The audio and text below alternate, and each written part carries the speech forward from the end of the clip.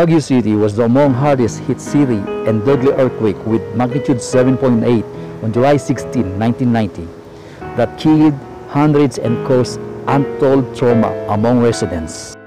Today, it's 31 years since we experienced the killer earthquake and I decided to make this video as dedicates this day in remembrance of the hundreds who died in the tragedy. And with fervent prayers that no other calamities would befall in our city, our country, in our world. It also served as inspiration to other people, especially our young generations. This series of photographs from different shots and angles would show the transformations from the tragedy.